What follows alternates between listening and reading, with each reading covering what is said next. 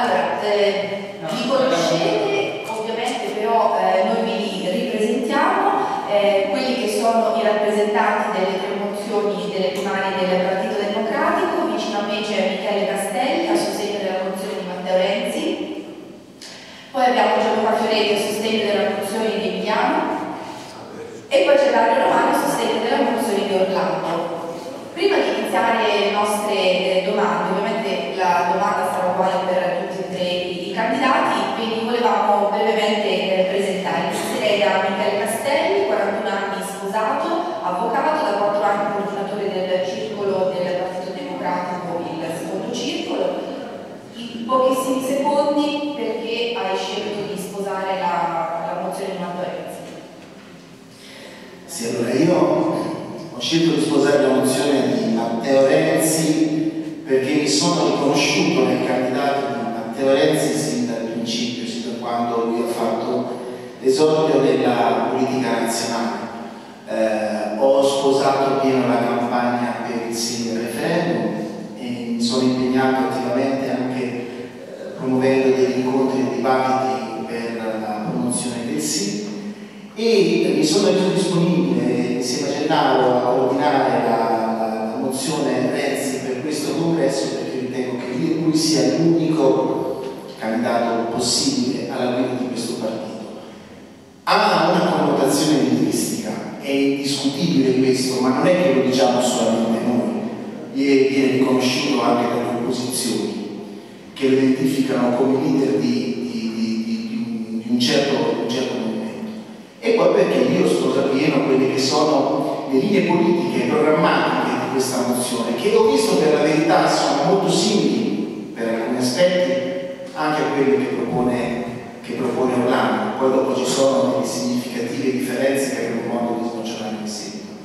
E quindi, e poi soprattutto anche perché io credo che Renzi è l'unico candidato, qui però come ho già detto la mia opinione personale, è l'unico candidato che, eh, nel, eh, che, che, che si parla, che rende giustizia, che dà dignità noi cittadini italiani di essere parte di una grande nazione. Non manca mai l'occasione di sottolineare le nostre vittorie, le cose positive che noi abbiamo e è anche un modo per opporsi, per contestare invece quella che è la politica più populista del nostro paese.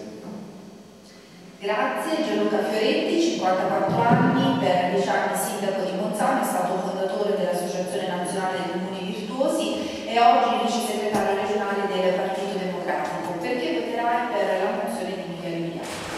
Eh, innanzitutto buonasera a tutti, vi domanderete perché voto Michele Emiliano, perché probabilmente no, non è una scelta, non è stata, non è una scelta facile e naturalmente condivisibile, ma io lo voto per il semplice motivo che lo ritengo l'unica concreta, reale alternativa per cambiare finalmente questo partito da dentro e per ridare al Partito Democratico quel ruolo di protagonista attivo all'interno dell'ambito del centro-sinistra, politicamente del centro-sinistra, cosa che finora non è avvenuta, finora non abbiamo avuto un segretario, abbiamo avuto un Presidente del Consiglio che esercitava anche, anche il ruolo di segretario del Partito Democratico democratico, ruolo che non ha assolutamente mai esercitato, perché dai tre anni del ruolo di Renzi come segretario è stata unita una scissione chiamata la Monocolete, se ne sono andati, li abbiamo fatti andare via, chiamata la Monocolete, ma è stata una scissione, un pezzo importante del partito che se n'è andato. Abbiamo assistito a sonore sconfitte elettorali,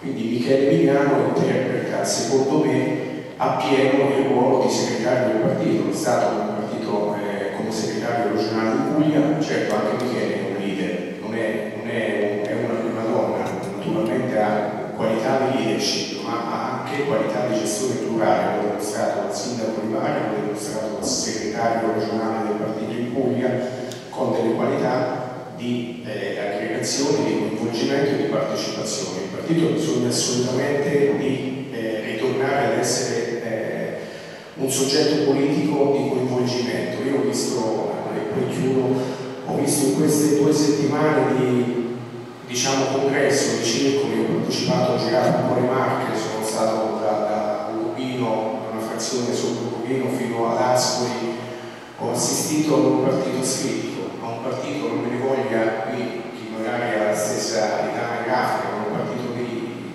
di anziani, non c'era assolutamente nessuna partecipazione. Questo è il risultato anni di segretario nazionale, Matteo Renzi. E se si continua così, secondo me è un partito che è destinato appunto lentamente morire di asfissia e di vecchiaia. Questo non deve essere assolutamente, penso che Michele Emiliano, anche con le proposte contenute nella sua mozione, possa invertire questo, questa tendenza. Dario Romano, 30 anni, laureato in economia e commercio internazionale, consulente aziendale, ma ha passato anche nelle istituzioni europee. Oggi è presidente del Consiglio Comunale di Senigallia. Perché la scelta di Andrea Orlando? Grazie Giulietta, grazie a Senigallia per l'invito. La scelta di Andrea Orlando eh, nasce spontanea dopo il 4 dicembre. Ho votato convintamente sì, eh, tra i sostenitori delle mozioni c'è chi ha votato sì, ma anche chi ha votato no e tutte le posizioni vanno rispettate nelle, nelle loro decisioni. Dopo il 4 dicembre però c'è stato un passaggio che è mancato, quello di un'analisi del voto e di quello che avvenuto. Quando il 70% dei cittadini votano contro principalmente un modo di governare, va fatta in contro una riforma, va fatta una riflessione. Questa riflessione non è stata fatta, Andrea Orlando la pone come tema in maniera semplice, Andrea Orlando anche aveva votato sia al referendum, e al di là di quello ha delle mh, differenze sostanziali all'interno della sua mozione. In primis quella del segretario, il segretario del partito che deve essere un segretario a tempo pieno e non può fare anche il premier, candidato premier. Questa visione lideristica purtroppo l'abbiamo provata e, e, abbiamo visto che ha dei grossi limiti. Tra l'altro su questo dovremmo anche eh, riprometterci che lo statuto va cambiato perché eh, la visione per il quale il segretario e il candidato premier coincidano, abbiamo visto appunto che non funziona. Un altro motivo forte eh, per sostenere Orlando è che mette davvero in noi prima dell'io, ma se non altro per la figura che è Orlando. La figura che Orlando è totalmente antilideristica rispetto a due, due persone come Matteo Renzi e Michele Emiliano che, che sono dei leader per natura. Ecco, se un leader ci deve essere, quello deve essere l'espressione di una grande squadra, perché il vero leader sta nelle persone di cui si circonda e non solo nelle apparenze. Grazie. Grazie. Io volevo mh, mm, ringraziarmi anch'io perché siete qua, soprattutto volevo ringraziare Gianluca che è venuto da fuori, anche gli altri sono nostri, questa è una cosa sindacalista, ha bisogno dell'intervento da fuori, quindi eh, è un eh, ringraziamento in più. Eh, allora, avevo promesso a tutti e tre una domanda cattiva, che sarà l'unica della serata, le altre sono più, più Inizio da Michele, continuiamo così. Allora, Renzi aveva detto il giorno dopo, anzi prima del referendum, se perdeva cambiava mestiere. È vero, si è dimesso, però può essere candidato. Perché?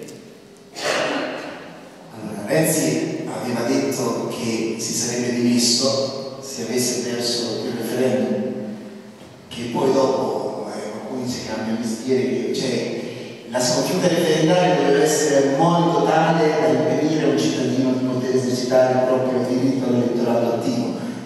questo non penso che possa nessuno pretendere, del resto lui si è dimesso da tutte le cariche che, che aveva, senza nessun problema, è stato il primo politico a farlo, da tutte le cariche, l'indomani del, del referendum, ed è tornato perché è stato votato, non è stato votato nessuno.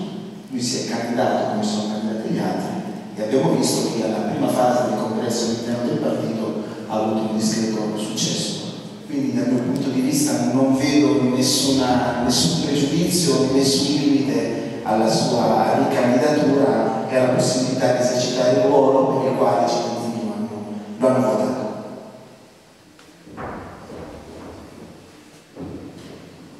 Gianluca,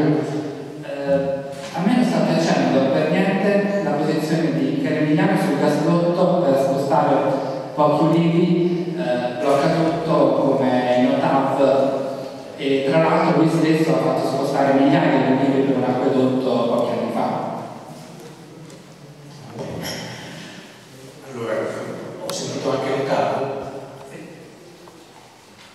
Allora, noi come associazione di comuni virtuosi, tra cui tra l'altro Senigallia era come socio, adesso ci rientra, perché se lo merita, il 20 maggio comunque andremo a fare il comitato direttivo proprio a Val di Susa, andremo a porre, e questo di cui si parla anche di partito, di partito democratico e di concezione della, di partecipazione e di coinvolgimento delle comunità, perché? Per la questione della TAF parliamo di ormai siamo arrivati, siamo arrivati sopra abbondantemente i 20 miliardi di euro di un'opera inutile che non si farà mai, non c'è assolutamente, non c'è ora non c'è mai stata la necessaria informazione comunicazione, in primis da parte del Partito Democratico, il partito di governo nella regione Piemonte e al governo nazionale. Quindi noi come associazione di comuni al cui interno ci sono anche molti sindaci del Partito Democratico, andremo lì porre all'attenzione politica una questione che è assolutamente dirimente. Questo per quanto riguarda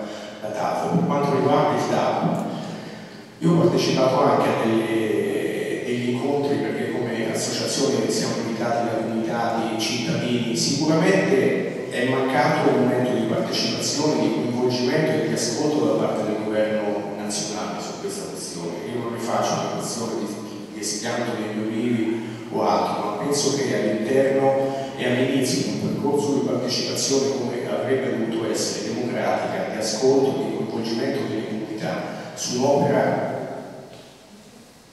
necessaria, carità è un, è un gasdotto che parte, mi sembra, dalla, non dalla Turchia, arriva da, dall'Azerbaijan, non so da dove parte, ci sono interessi, eh, c'è stata un'inchiesta dell'Espresso la settimana nell'ultimo numero, ci sono interessi di governi Erdogan, eh, di governi nazionali, delle multinazionali, quindi sono interessi assolutamente superiori anche a quelli di una semplice regione come la Puglia. Doveva esserci un coinvolgimento maggiore all'inizio del percorso partecipativo. Non c'è stato, la Regione Puglia ha ascoltato le necessità dei cittadini, perché poi non è che c'è anche speculazione politica dall'altra parte, no? nasce subito il comitato, abbiamo visto, lo vediamo anche noi, Ostra è pronto a nascere per la, per la centrale, no? se si fa la centrale dell'organico è nato, abbiamo perso le elezioni inglesi per il discorso della centrale biogas, il comitato che nasce il giorno dopo, però tanto più per questo la politica deve essere parte attiva, deve essere presente.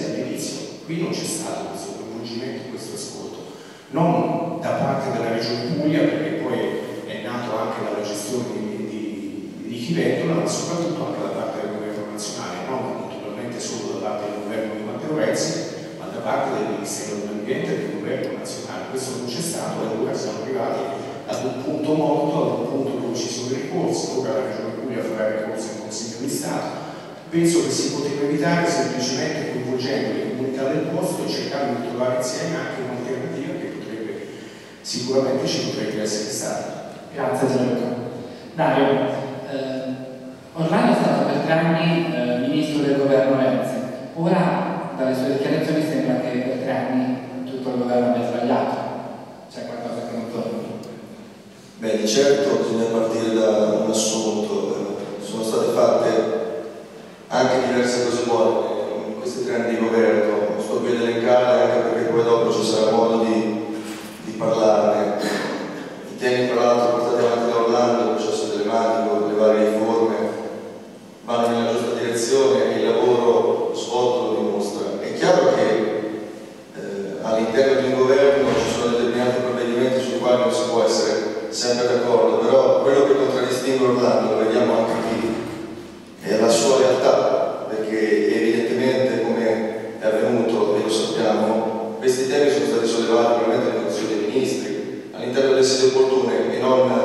facendo chiasso sui giornali per ottenere niente. Quindi, anzi, Orlando eh, pose anche un tema molto interessante dopo l'europeo, quando ci fu quel clamoroso 40%. Lui disse stiamo attenti perché questo 40% è sì una grande dote, però dobbiamo capire come interpretare questo risultato. C'erano grandi aspettative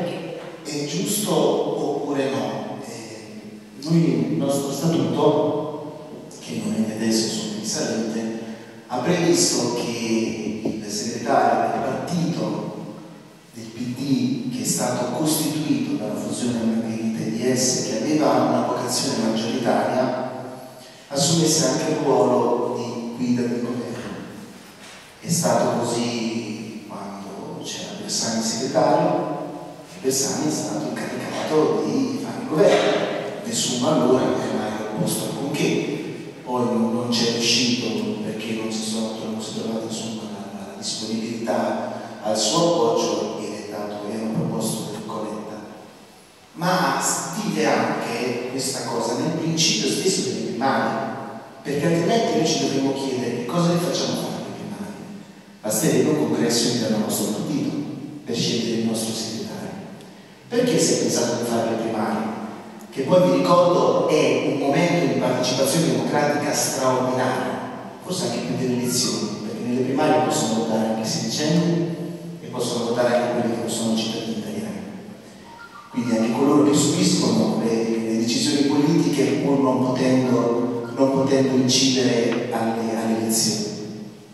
Si è deciso di votare le primarie con una più ampia platea possibile perché il Partito Democratico, che ha una vocazione maggioritaria e oggi dai miei colleghi relatori viene messa in discussione accedendo alla possibilità di tornare alle coalizioni, prevedeva che il leader, il segretario del partito si assumesse la responsabilità politica del progetto di governo che lui aveva presentato, sul quale lui era stato eletto e che doveva portare avanti.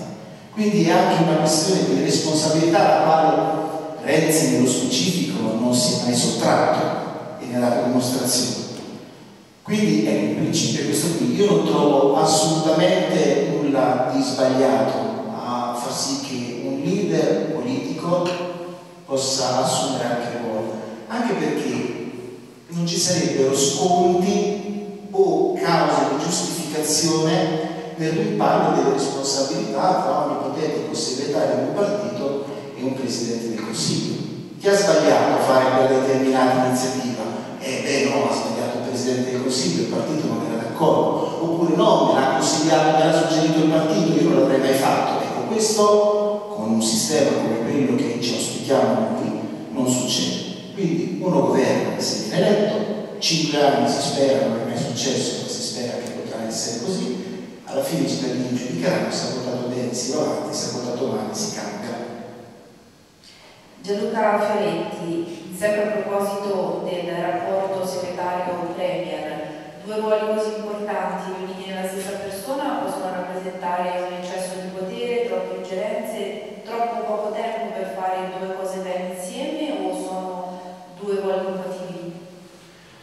Anche nella mozione di Michele, di Michele Emiliano è presente naturalmente questa distinzione tra candidato premier e segretario del partito Ripercorro brevemente la, la, storia perché nel 2013 lo statuto fu cambiato no? per permettere proprio a Matteo Renzi, perché altrimenti non c'era questa opportunità, questa possibilità su richiesta di Renzi per permettere appunto eh, la condivisione e la stessa funzione di candidato premier e segretario del partito che è da, da versare. Però i tempi sono cambiati e c'è anche una questione politica poi da sottolineare. I tempi sono cambiati perché ora c'è la legge elettorale che si muove su meccanismi proporzionali e quindi non è più tempo di segretario del partito e candidato premier perché poi il segretario del partito dovrà fare finalmente, dico io, il segretario del Partito Democratico. Io ricordo solamente a parte la debolezza, cioè qua si, si torna sempre, sembra che si debba sempre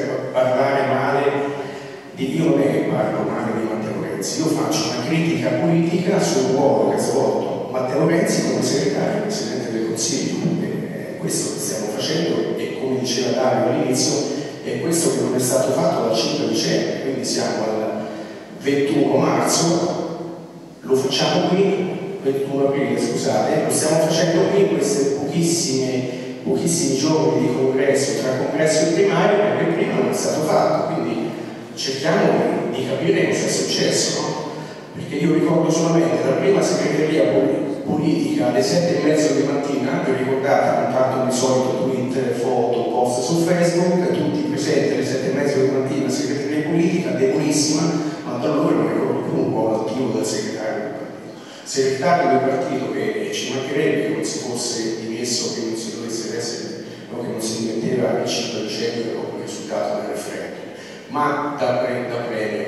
E quindi, e quindi ecco anche la, la, debolezza e la delicatezza del doppio ruolo. Però come segretario del partito ha tenuto in piedi il partito conducendolo fino a fine febbraio, fino a quando poi hanno deciso, si è deciso unilateralmente c'era stata la richiesta di Orlando, c'era anche la richiesta di una conferenza programmatica prima del congresso invece no, si è deciso di fare il congresso, tempi strettissimi, abbiamo fatto un ciclo di incontri nei circoli di due settimane e ora, ora facciamo tra il disinteresse generale le primarie aperte del 30 aprile, cosa che sicuramente tutto non è, tutto non fa bene al Partito Democratico su questo. Quindi i tempi sono cambiati, non è più un tempo di, di fare questo doppio ruolo, ci vuole una persona che faccia a tempo pieno il segretario. Non ci, essere, non ci deve essere spazio per ticket fantasiosi, perché io devo capire che, che senso ha il ticket Renzi Martina, perché un ticket si dice io faccio questo e, e l'altro, no, il mio compagno del ticket fa quest'altro, quindi si capisce benissimo che Martina dovrebbe svolgere non so cosa, non c'ha un ruolo preciso. Quindi su questa nuova realtà, su questa nuova situazione politica nazionale, anche dopo la, la sentenza della consulta, c'è assolutamente bisogno di una persona che faccia a tempo pieno il segretario eh, del partito e di un'altra persona che faccia, può essere benissimo Matteo Renzi, che svolga il ruolo di candidato breve e Presidente del Consiglio. Dario, guardando proprio bene bene, il problema del doppio ruolo segretario premier è stato in qualche modo accentuato anche dalla bill di Renzi o il problema si porrebbe con chiunque? Perché un po' anche quello che ha detto Gianluca poco fa, ha detto questo doppio ruolo Matteo Renzi l'ha fatto male. Quindi se fosse un'altra persona le cose cambierebbero o sarebbe la stessa cosa? Guarda Giulia, il tema eh, non è quello, nel senso che se guardiamo la persona rifacciamo un'altra volta lo stesso errore, noi invece dobbiamo darci una regola che sia valida per il futuro, riconoscendo che le regole cambiano a seconda del contesto. C'è da dire una cosa, eh, la legge elettorale proposta dal precedente governo è stata bocciata dalla Corte e non da Orlando Emiliano purtroppo siamo in una realtà che fondamentalmente è cambiata, non abbiamo più un sistema maggioritario e non mi sembra che nessuno voglia cambiare. Tra l'altro su questo Orlando eh, è stato molto chiaro e con, e con esso i senatori che hanno sostenuto la riforma elettorale seria che parla di collegi uninominali, soglie di sbarramento chiare e premi di governabilità, perché se parliamo poi eh, delle figure del segretario del candidato premio non capiamo cioè, qual è il contesto a monte e su questo Orlando invece ha capito perfettamente qual è il tema e quello della riforma elettorale quindi parliamo di un premio di governabilità una legge che permetta a chi vince di governare su un punto non bisogna cedere e sul quale non cederà mai Orlando bisogna togliere i capelli strabloccati bisogna permettere ai cittadini di scegliere i propri deputati quindi questo è il punto di partenza. Poi le regole all'interno dello statuto del, del, partito possono essere cambiate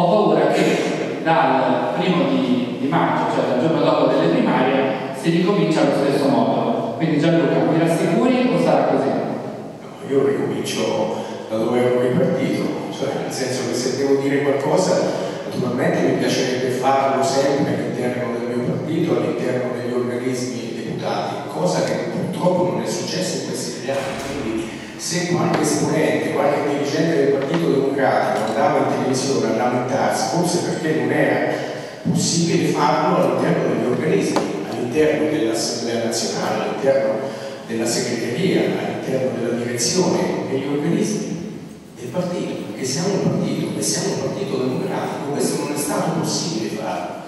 Quindi se non è possibile farlo e poi naturalmente l'attrito aumenta, aumentano le tensioni finché c'è D'Alema che ha udito la solita trama eversiva oppure c'è chissà chi che è contro Renzi, però sicuramente un dibattito all'interno del partito in questi tre anni non c'è stato perché non è stato rimosso, non è stato incentivato, non è stato attivato, neanche attivato.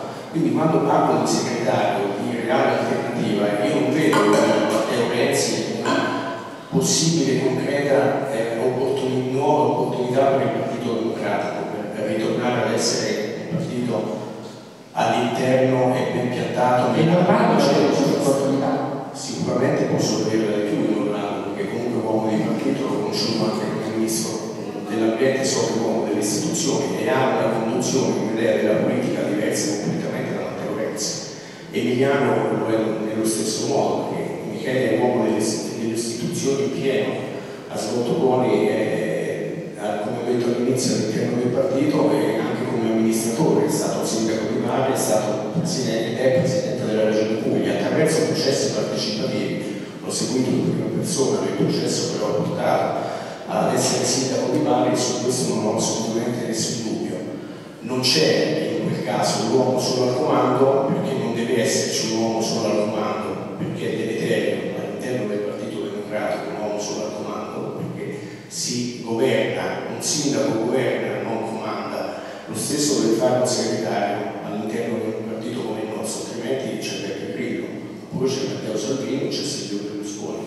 Questo non è stato possibile. Tra l'altro Matteo Renzi, e qui ritorno, ma ritorno all'interno di quell'analisi politica che non c'è stata e che cerchiamo sempre di fare in queste occasioni, avevamo febbraio, ormai tre anni fa, nel 2014, abbiamo avuto un'occasione ripetibile da questo punto di vista, c'era un giovane 38enne in possesso di un linguaggio di una comunicazione di enti di cui c'era assolutamente bisogno e non aveva nessuno. Promotore, ideatore di un messaggio assolutamente positivo che era quello della rottamazione, segretario del partito, premier, presidente del consiglio, quindi aveva tutto a disposizione, non mi si dica che stata colpa di D'Alema se non si è raggiunto quel risultato che speravamo, che speravamo tutti all'interno del partito e anche nei cittadini italiani. Tutto qui. Grazie Gianluca. Dai. Quando mi ha fatto la domanda Michele ero indeciso, dicevo cosa faccio? Rispondo in politichese oppure cerco di dire la verità? Ho detto bisogna dire la verità, perché se sostengo Meralando bisogna dire la verità, dicono anche loro due, sono stati molto bravi e questo significa che è un partito che è vivo e che si sa confrontare. Quello che diceva Luca è vero, non ci siamo più confrontati, siamo troppo spesso andati dietro a una modalità di fare politica che non ci appartiene. Vedete, io faccio un esempio. Adesso abbiamo introdotto la modalità di fare le direzioni nazionali streaming, che sono un bellissimo momento per gli iscritti e per chi vuole seguire le discussioni. La realtà è che però ci troviamo di fronte a, a, a momenti che sono valutati, falsi, dove in realtà ci sono già state dichiarazioni sui giornali, dove ci sono già state dichiarazioni sui talk show, e invece si è persa la possibilità di confrontarsi in maniera anche sincera e dura, ma all'interno delle sedi opportune, forse anche senza le telecamere, visto che anche il Movimento 5 Stelle ha iniziato a non fare più gli streaming. Bene, grazie, infatti volevo dire su questo che il Comune di Senigallia tra l'altro si muove benissimo perché è dotato di telecamere in tutte le riunioni e le sedi pubbliche, ma così deve essere. Quando invece si discute dei partiti, a volte ci sono dei momenti in cui bisogna fare chiarezza e questa chiarezza spesso è venuta a mancare. Per quello eh, dire che o si sostiene Andrea Orlando non si va a votare, perché? Perché, perché sia Matteo Renzi che Michele Emiliano eh, per noi non sono le figure adatte per ricoprire la carica di segretario del partito, perché Matteo Renzi lo abbiamo visto e purtroppo eh, ha fatto fatica, è innegabile dirlo. Però su questo va detto anche una cosa, chi è andato via ha sbagliato. Chi è andato via ha sbagliato perché le battaglie si fanno dentro e si rimane dentro il partito. Poi dopo le posizioni ne prevale una rispetto all'altra e sempre deve essere così, ci deve essere anche una mediazione.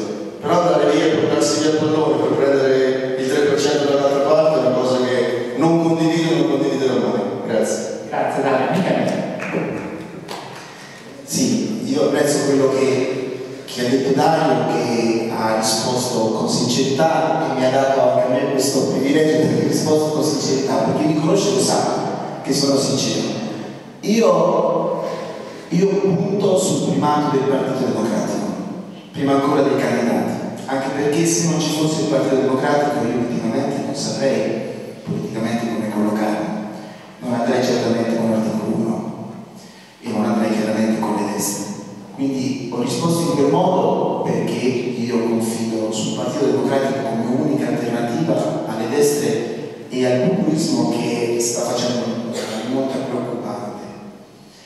Su quello che riguarda la discussione interna al partito, io non sono d'accordo con te, io penso che la discussione del partito sia stata anche troppa e che la discussione non sia stata fatta solo all'interno del partito in streaming per la prima volta perché non avevo mai visto io ormai sono qualche anno comunque che, che frequento la politica, non avevo mai visto tante direzioni nazionali, tante segreterie, tanto meno estremi. Il problema è che se ne è parlato troppo fuori dal partito, in televisione, nei talk show, con, senza il contraddittorio. Questo è quello che secondo me ha fatto male al nostro partito. E la sconfitta di Renzi al referendum, che adesso tutti additano come, come l'apice della, della disfatta di un progetto politico, è avvenuta perché così ha voluto Renzi. Renzi non è andato a casa perché è stato sfiduciato dal Parlamento, non ha avuto mai una sfiducia del Parlamento è casa con un'assunzione di responsabilità, come dicevo, che altri hanno fatto, sì, sono dimessi da, da, da presenza del Consiglio, non anche dalla segreteria del partito, però questo è un discorso. Il problema è che si è parlato troppo e non è mancato il confronto.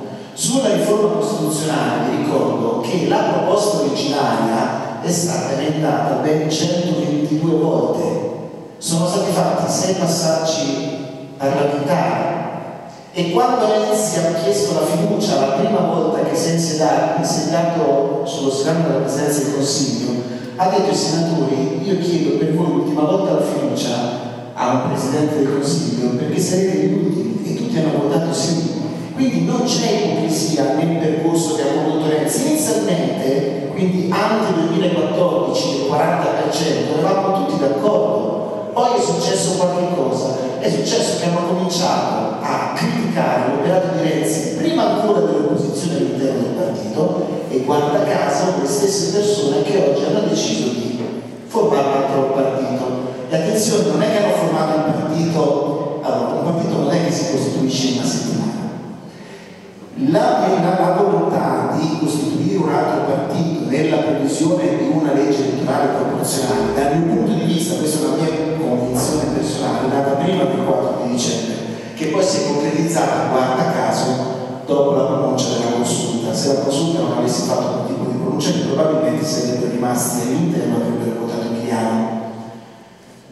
Quindi ecco, per rispondere io avrei, se non ci fosse stato Renzi per quanto suggestiva la domanda, avrei votato Emiliano, perché comunque confido nel primato del Partito Democratico a livello. Grazie Michele, adesso direi di iniziare da Dario vorrei parlare di riforma elettorale, però eh, in maniera è un tema perché suscita sempre molto dibattito quando ci si allunga, quindi vi chiedo in questo caso un po' più di sintesi. La riforma elettorale è sempre tirata in ballo ad ogni appuntamento elettorale, sia politico eh, che di, di primaria. Allora quello che ti chiedo è questo, in realtà se ne parla sempre, si deve fare, si deve cambiare, siamo tutti d'accordo, no alle liste bloccate, massima partecipazione cittadini, però poi nei fatti non si è mai arrivati a una conclusione. Allora ti chiedo, è davvero così difficile? È mancata la volontà? Eh, o in fondo in fondo non si è veramente d'accordo?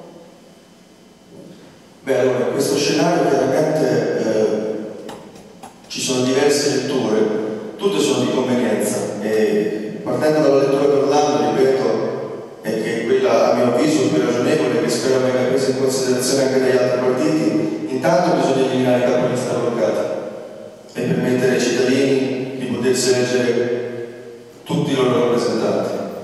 Le candidature chiaramente devono essere presentate nei collegi, in collegi uninominali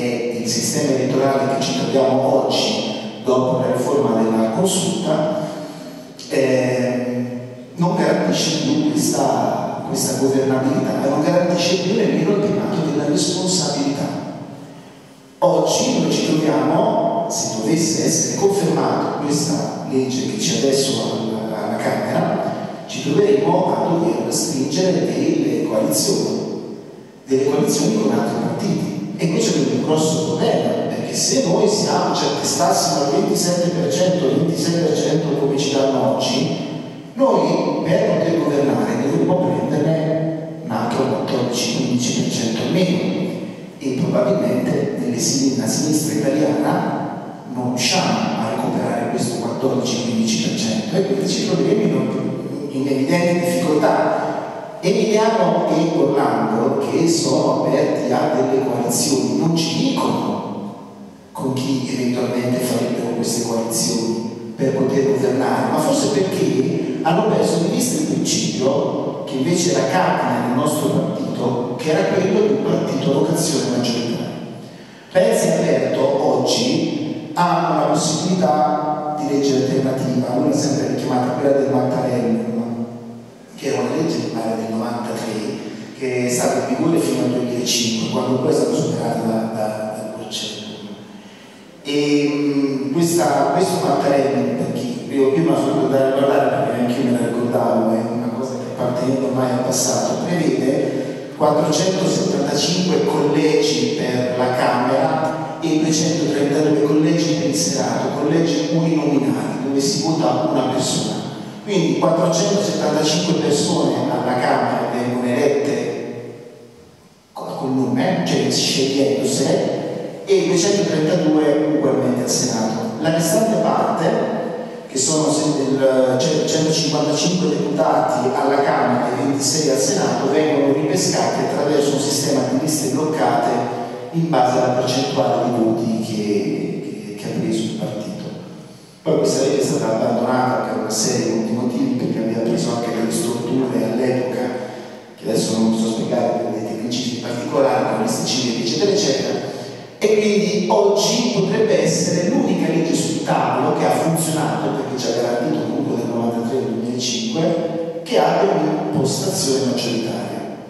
Sulle liste bloccate, ho fatto un ragionamento sulle liste bloccate diciamo capilista bloccate, no liste bloccate. Io un giorno ho fatto una discussione con un politico del territorio e, e mi ha fatto, mi ha fatto capire questa cosa qua, se il partito ha la necessità di candidare una persona illustre, uno studioso, un filosofo, una persona che ha una profonda conoscenza, però è poco conosciuto, come fa il partito a farlo emergere? Questa è una scelta del partito.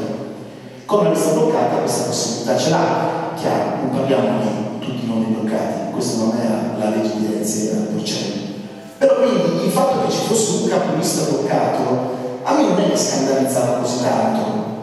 Oggi poi con 100, con 100 eh, collegi e 940, 950 deputati non sarebbe nemmeno così, così incisiva la, la, la, la, possibilità del partito di andarsi a scegliere il candidato. Però questa è un'altra cosa. Oggi Renzi dice io sono per il mattarello, che è l'unica legge maggioritaria che attualmente c'è sul tavolo. Siete disposti a votarla per evitare di fare le grandi intese? Sì o no? Alle elezioni per la commissione elettorale hanno votato, hanno votato un esponente di minoranza che forse andrà a tutelare quelli che sono gli interessi dei partiti minori, un esponente di area popolare del fatto.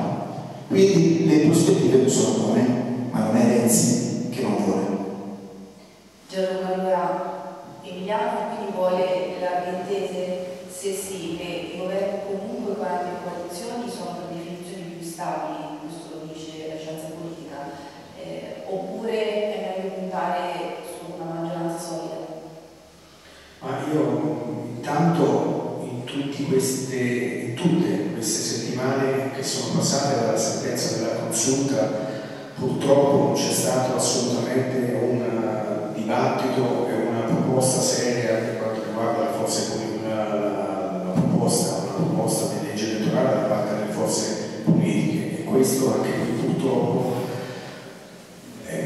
dimostra il dato del 5-6% di fiducia dei cittadini italiani nei partiti, qui ci mettiamo dentro tutti, quindi il Partito Democratico in primis, no? perché ci saranno ragioni di opportunità, certo c'è la scadenza del 30 aprile, delle primarie aperte, ma la classe politica non ci fa come al solito una gran figura e questo il Parlamento è in primis, quindi è tutta l'infa per il Movimento 5 Stelle che è comunque la terza forza politica terza forza politica non in ordine di grandezza, ma la terza forza politica all'interno di un sistema che non è più bipolare, ma tripolare, un sistema con cui si deve fare i conti un sistema all'interno del quale si deve costruire una proposta seria di legge elettorale. Non è semplice, io non, non do ricette, non sono, sono l'ultimissimo dare ricette di legge elettorale. Viene richiesta l'omogeneità tra Camera e Senato, ma sicuramente deve essere eh, richiesta la serietà delle forze politiche per far uscire una legge elettorale che soddisfi tutti.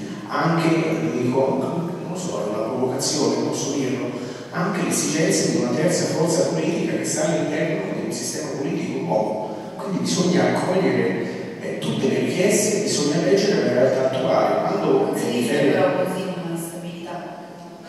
Eh, questo è buonissimo, ma quando Michele Emiliano dice, eh, Michele non dice, eh, non, non, diventa, non, è diventato grillino, però cerca di portare all'interno del Partito Democratico nuove forze e anche una percentuale di voti altrimenti sarebbe persa definitivamente che abbiamo perso comunque figura. Quando dice che eh, all'interno del, del, Movimento 5 Stelle c'è una buonissima parte di elettori che sono elettori, potrebbero ritornare ad essere elettori del Partito Democratico o comunque elettori del centro-sinistra, non dice una falsità, quindi all'interno di un'azione politica, quindi all'interno della politica che deve fare un partito ci sta anche riappropriarsi di una percentuale di voti, di una percentuale di, fo di forza che permetterà poi magari all'interno di una legge elettorale eh, naturalmente più consona e che si avvicina quanto più possibile a una solidità dal punto di vista della governabilità che permetta appunto di governare, eh, di governare il paese, certo non è semplice. Poi all'interno delle alleanze anche questa è una di mente, perché Michele Emiliano nella mozione, nel dibattito pubblico che c'è nel primario dice chiaramente che l'alleanza deve essere quella all'interno del centro-sinistra, ma lui può dirlo, certo. Non è tempo di, penso, di coalizioni con Forza Italia, perché un conto è fare le intese sulle emergenze, tra l'altro scaturite dal campanellino di Letta, no? che è stato consegnato, che è stato preso. Un conto è fare un'alleanza, una coalizione di governo forte e seria che duri una legislatura, e se il PD a fare una coalizione con Forza Italia, dubito che poi mantenga anche il 25-24%, perché comunque siamo in un sistema di, un sistema politico più maggioritario, si deve far conto, si deve fare i conti anche con altre forze politiche. Grazie Gianluca. Allora, questa domanda che sto per farvi ci tengo moltissimo, però mi dispiace chiedere di essere più brevi, perché stiamo perdendo un po' di ritmo. Si ricomincia da Michele, giusto? Eh, quindi la domanda è quale Europa? Europa con velocità? Europa da distruggere? Europa che va bene così com'è? Soprattutto come rendere più incisivo il peso dell'Italia. Sì, allora, innanzitutto Europa. Questo è molto chiaro nella mozione del, di Renzi Martina, addirittura è messo al primo punto della mozione di Renzi Martina, assolutamente Europa.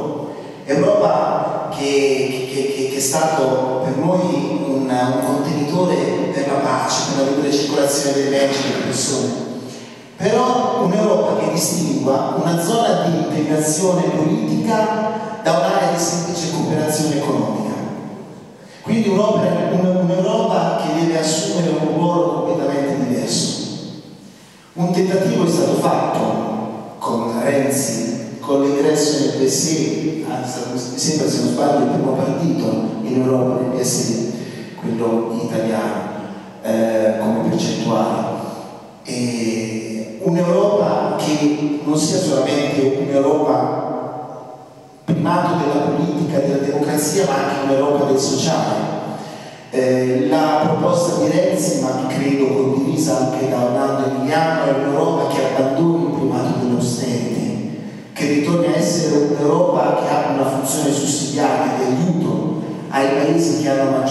difficoltà, a dispetto di quelli che invece riescono a gestire meglio, perché non possono vigere dei principi per l'Italia e gli stessi principi all'opposto non devono essere censurati per esempio per la Germania. Faccio riferimento al rapporto deficit per l'Italia in negativo e per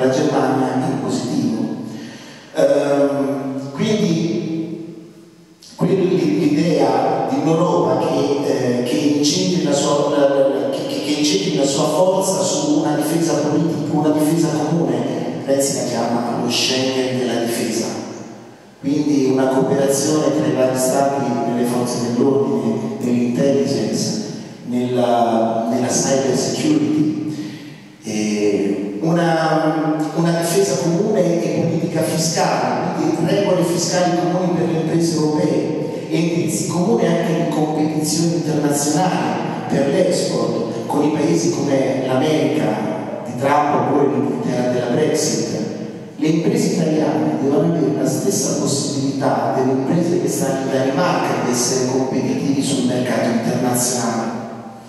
Poi l'Europa anche che prenda a cuore la, la, gestione dei flussi migratori, questo è un grande problema, uno dei più grandi problemi che noi ci dobbiamo dover discutere di questi temi. Eh, quindi aiutare l'integrazione, la sicurezza che passa attraverso l'immigrazione legale. Allora io faccio l'avvocato, mm, un mese fa è uscito il decreto flussi, che è l'unico strumento che regolarizza l'ingresso degli stranieri in Italia. Bene, il decreto flussi quest'anno consentiva la regolarizzazione a tempo determinato di 300.000 persone in tutta Italia. Quando da noi ne sbarcano 5-6 mila persone al giorno. Dall'inizio del, negli ultimi, no, ultime settimane, mi pare l'ultima settimana 8.000 persone sono sbarcate sulle coste italiane e 800 sono i morti dall'inizio dell'anno.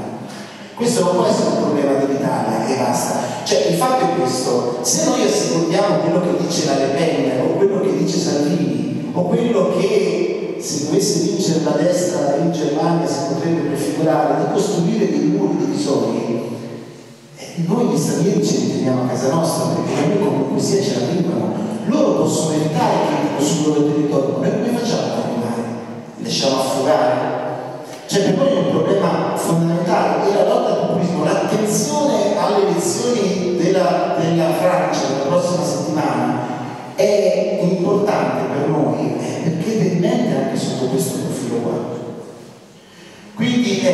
la sicurezza per noi non vuol dire solamente l'ordine pubblico, un aumento dell'ordine pubblico, ma vuol dire coesione sociale e sviluppo urbano, la riqualificazione dei nostri territori.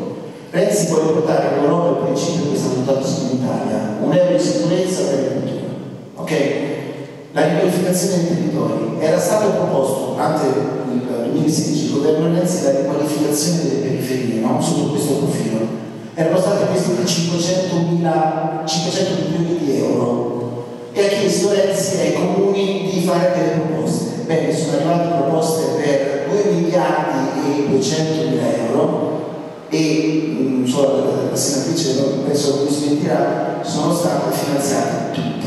Questa, eh, questa, è la politica che sta portando avanti governo che ha portato avanti il governo Renzi in Italia ed è questa la politica che volevo proporre per loro. E poi per rispondere alla seconda parte chiudo, come facciamo a essere un po' più incisivi? Renzi, a differenza, e questa è una delle grandi differenze tra quella della, del doppio incarico, rispetto alle altre mozioni, Renzi propone delle primarie aperte livello nazionale con i candidati dei partiti di riferimento per le rappresentanze europee, primarie aperte in Italia e poi quello che condivide con la mozione Orlando è quella di un suffragio universale di tutti i cittadini europei per la nomina della Presidenza della Commissione europea. Per inciso Schulz, che è stato eletto Presidente della Commissione europea, poi è stato eletto anche Presidente del partito quindi questo doppio ruolo che da noi viene criticato altre, negli altri stati importanti invece è considerato attuale. Grazie Michele. Sì. cercherò di essere breve perché poi tanto ruota sempre attorno a una questione no? che Michele Emiliano sintetizza bene, quella degli Stati Uniti d'Europa, quindi è un termine che ha ricevuto. All'interno c'è stato un processo politico che deve portare finalmente l'Europa del 2018, quindi del XXI secolo, a svolgere un ruolo politico non solamente tecnico, finanziario ed economico, cosa che è stata finora con l'unico risultato epocale raggiunto quello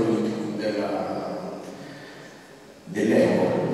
Ma dall'euro i passi se ne devono compiere, quindi una politica estera comune, una politica di difesa comune per un percorso che deve portare alla Costituzione degli Stati Uniti d'Europa come ognuno di noi intendiamo.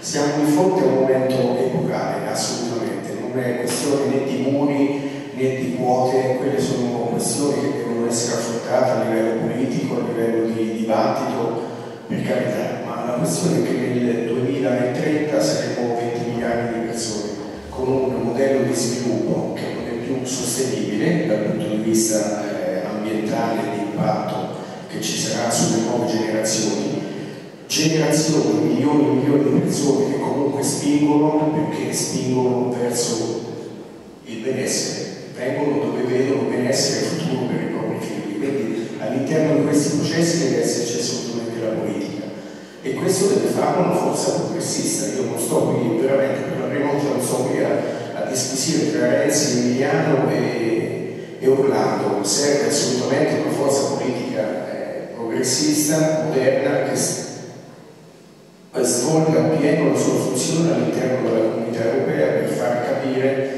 che non si devono solo meccanicamente i flussi migratori o le prossime partite politiche, ma si deve mettere di fronte la classe politica europea a un momento epocale, uno spartiacque forte da cui comunque non si può più tornare indietro. Grazie Gianluca, dai. Beh, che aggiungere? Allora, su questo punto è chiaro che le tre mozioni si toccano molto ed è anzi un bel segnale che, che, il partito su questo sia unito partire dalla Presidenza della Commissione europea e deve essere svolta con un'elezione diretta. C'è un tema che però viene colto principalmente da Orlando e, e, va a vedere quello che è stato fatto in passato, non solo dal, dal governo precedente ma da tutti i governi che si sono susseguiti eh, c'è una scarsa attenzione alla classe dirigente europea.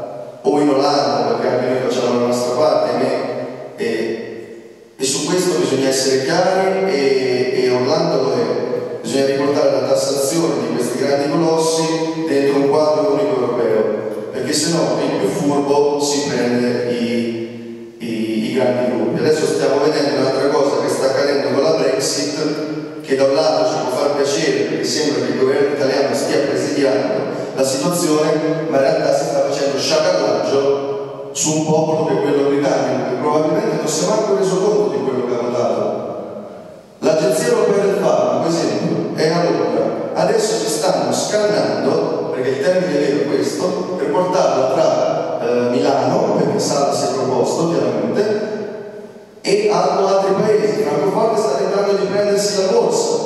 Cioè, se noi ragioniamo in questi termini, purtroppo, e non è questione di, di Renzo, Orlando, Emiliano, eh, l'Europa è destinata, è già morta, così com'è è già morta, lo dico io che sono un profondo europeista, per cui in primis va fatta una revisione dei trattati, dove le decisioni non vengono prese a livello intergovernativo, cioè non ci deve essere un veto di volta della Germania oppure dell'Italia perché deve fare rispetto alla Germania, perché anche questo non è il modo di trattare a livello europeo.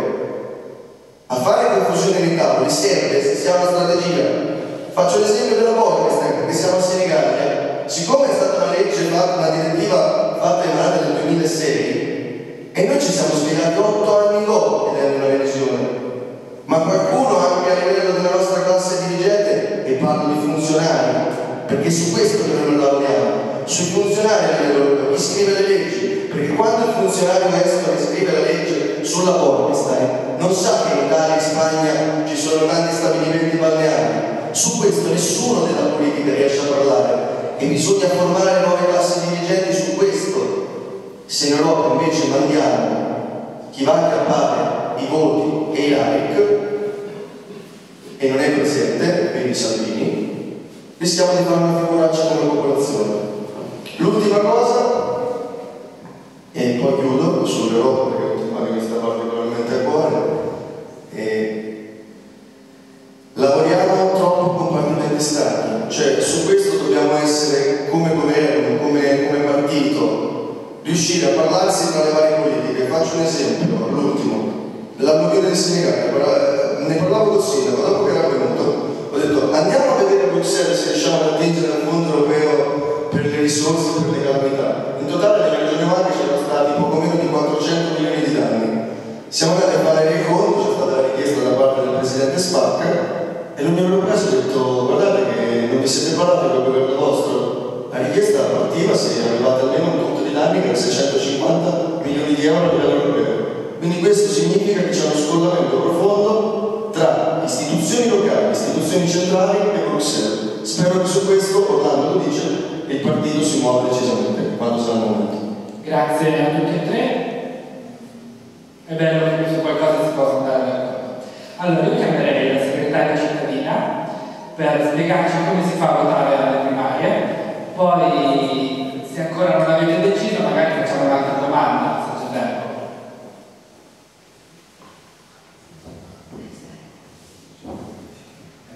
Buonasera a tutti, innanzitutto ringrazio Pinto e Giulia Mancinelli di Senigallia per l'iniziativa di questa sera e naturalmente i nostri relatori Michele Castelli, Gianluca Fioretti e Dario Romano e tutto il pubblico che è qui presente questa sera. Lo sappiamo tutti, il 30 aprile si vota alle primarie, è un momento importante perché è l'unico partito che eh, sceglie il proprio segretario, lo possono fare veramente tutti. Non è eh, necessario essere iscritti al Partito Democratico e non è neppure necessario essere cittadini italiani. Lo possono fare tutti coloro che abbiano compiuto 16 anni.